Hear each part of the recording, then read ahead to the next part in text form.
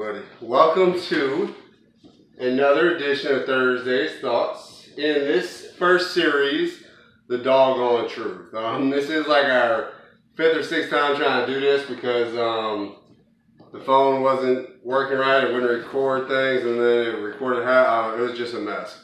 So he went from crazy the first two tries, and third time, yeah, the fourth time he was just actually like sleeping on my lap so we're gonna try to get through this one, guys. Uh, bear with me. Um, I'm tired of hearing myself talk. I think he's tired of hearing me talk too. But he's you so oh oh okay. We we learning, huh? We learning. Good boy. Look at you. Anyway, um, for those who don't know, the star of this uh, series, The Doggone Truth, is my little buddy Buck, who uh, last year, um, last November, uh, we were hunting in Kentucky, and he came out of the woods as, as a six month old. Uh, they were breeding him for, um, well, he was part of the litter. He was the only survivor out of the litter uh, from them trying to breed some of these bluetick beagles for uh, hunting. But um, I was able to take him home. Didn't think I was ready for another beagle after Dixie passed uh, Christmas Day 2017, but uh, God's smarter than me. God knew I needed him with the things I was going through, and he needed me. So it worked out for both of us, I think. But that's where this series, The Doggone Truth, comes from. God has been showing me things while trying to uh, to train him and also train myself, I guess. Uh, God's been showing me different things, and I figure I'll present them uh, on this uh, little series, and hopefully it would speak to somebody, and y'all would get something out of it. Um, we've had different uh, series. Last one was about uh, you know the love of a mother and how she protects us and all that stuff. And um, this one is tough love. Um, in 2019, they may not like uh, the whole saying, you know, no pain, no gain type thing. I was trying to look up trying to think of something that would go with um, discomfort, but I couldn't think of anything around with that. So, um, but it's, it's about tough love, and it's still love, and uh, you do it right, and it's for your good. Uh, you know, sometimes I look at him and his cute little face, and I'm just like, man, uh, it's that parent saying, uh, you know, it hurts me more than it hurts you. I, I do not like uh, disciplining him, even though I have to at times. And um, Sometimes I think, ah, maybe if I just messed up his face, and I was a joke. If I messed up, I wouldn't mess up his face. But he just looks at me so cute sometimes. I'm just like, ah, gets away with probably a little too much still. Be good. Yeah, you're, you're on, everybody's watching you, dude. So relax. But, um, Dixie, I had, when I had her, um, I'm sure she's looking down. Love you, baby. Miss you. Uh, had her for 13 years. Uh, she passed last uh, Christmas Day 2017, but she was in an apartment with me, and uh, she went through the chewing phase that he's going through now. And um, one time she was going, always going after the electrical plugs out of the outlet, and uh, I tried to correct her many, many, many times, and by God's grace, she didn't uh, turn into a hot dog with 110 volts running through her. Because sometimes I would come, I didn't have a cage for her. I would come home and those wires would be bitten completely through. Um, and some kind of way she she wasn't shocked. Uh, but um, it took a long time, maybe because she was a girl, I didn't make her as uncomfortable for uh, not listening. Uh, Bucks, you know, he, he gets away with a lot, but um, I don't want to say I caused him pain because that would be wrong. Um, in our discussions, I make him aware that it could be very, um,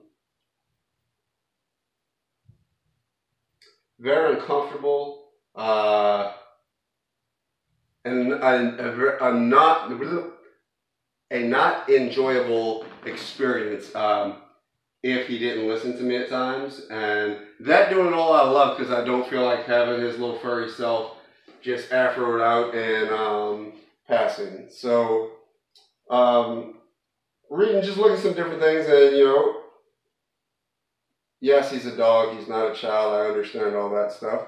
But uh, you know, uh, he, he's, he's my little boy. Um, Proverbs 23, 13 through 14. The reason why I think about it too is I'm going through some chastening right now myself. Uh, God is allowing things in my life to, in this chapter, make, you know, see that I need a change and be ready for the next chapter to where I'm a better person and I don't have to deal with as much pain and heartache and all that fun stuff anymore. But uh, in Proverbs 23 13 through 14, and my handwriting is horrible, so I'll try to do my best. Um, do not withhold discipline from a child. If you punish him, or if you punish them, they will not die. Punish them with a rod. So, oh, punish them, punish them with a rod to save them from death. Um, just like I said, a little pain, no gain. You know, when I was personal training and doing all that, I loved it, and I realized that it's called working out. It's not called funning out. Um, it's work. It, it's it's discomfort at times, but it helps your physical health and can help you have a better life. Uh, with you know, even self discipline isn't always fun. You can't eat and all the junk that you always want to eat. Sometimes you have to eat things that aren't necessarily always as tasteful as uh, the other stuff. But with self discipline, even, um, you know, it it makes you have a, a higher quality in life. Normally, I understand things happen, but um, you know, so look out for your children. Um, but remember, we are God's children. Those of us who have decided to um, believe in Christ and His salvation, we are adopted into uh, God's family. And uh, in Hebrews 12, 5 through 6, it says, And we, and we have forgotten the exhortation in which speaketh to you um, as unto children, My son, despise not, despise not the chastening of God, nor faint when thou art rebuked by him or of him. For whom the Lord loveth, he chasteneth and scourgeth. I can't read my writing. Uh, every son whom receiveth. Uh, then it goes on to seven. I'm sorry, I should read the straight from the Bible. My handwriting and eyesight are horrible. Uh, it pretty much goes on to say what what son is not chastened or disciplined by his father because father loves their son they're going to make sure they uh, they train them because if you were to bite someone else they may not be as nice as i am buck and they can hurt you so yeah don't like there you go give me a kiss there you go buddy.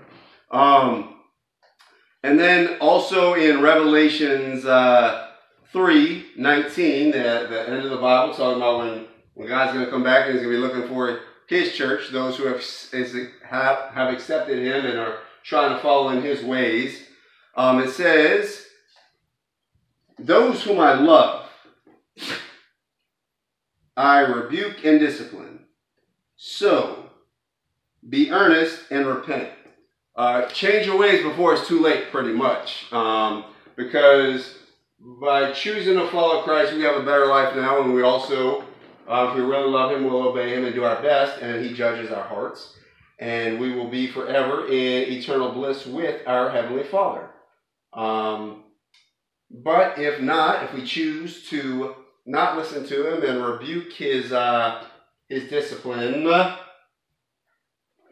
I love you. Thank you.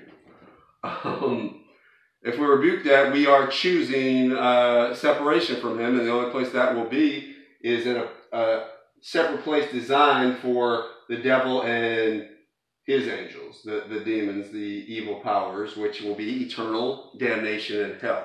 Um, so I just want to present this. I'm surprised he's being so good because the first couple times I tried to do this, he was biting my ear. So hopefully this records.